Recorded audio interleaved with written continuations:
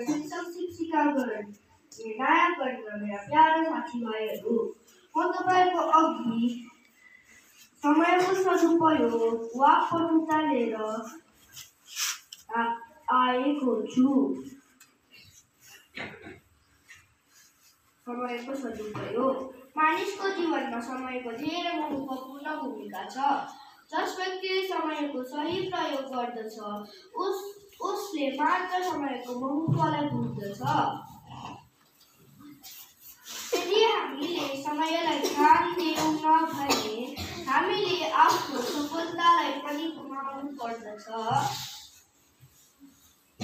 हरेक क्षण हाम्रो लागि महत्त्वपूर्ण छ। केही क्षण हामीले समयलाई ध्यान दिएनौँ भने हाम्रो हातबाट यो उक्किएर जानेछ।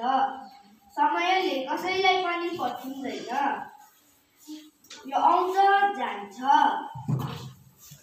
यदि हामीले हाम्रो समाजलाई राम्रो बनाउन चाहन्छौँ भने समयको सदुपयोग गर्नुपर्छ र प्रगतिको बाटोमा अघि बढ्नुपर्छ। धन्यवाद।